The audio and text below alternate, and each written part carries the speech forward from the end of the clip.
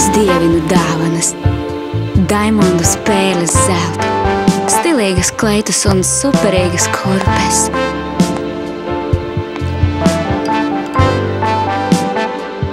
Mm, un es visforšāko dāvanu reāli.